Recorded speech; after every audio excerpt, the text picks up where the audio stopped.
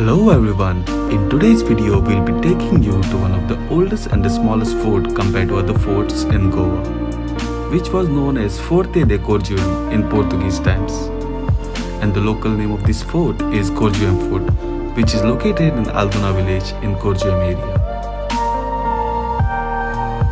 This fort was built by Portuguese in 1705 and they say that this fort was supposed to be the military fortress for the defense of Portuguese in India.